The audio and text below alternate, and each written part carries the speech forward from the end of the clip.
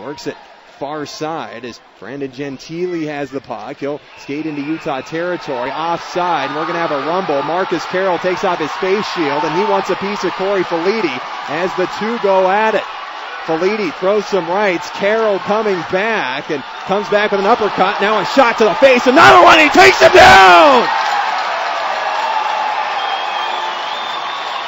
Marcus Carroll clearly wearing a face mask for a medical issue, rips it off and had a bone to pick with Kory Falite. Marcus goes to the locker room, Falite to the penalty box. We'll sort this out. Come back right after this. No score for Maverik Center. 7-16 left to go in the first period on Grizzlies Radio. Presented by Big John's Plumbing at UtahGrizzlies.com and 860 AM, Utah's Big Talker. Hi, Grizz fans. It's Chris Hagan. When you look up you are clear. and the Better Business Bureau gives it an Plus, something's going right. Well, ladies and gentlemen, that's the case with John at Big John's Plumbing.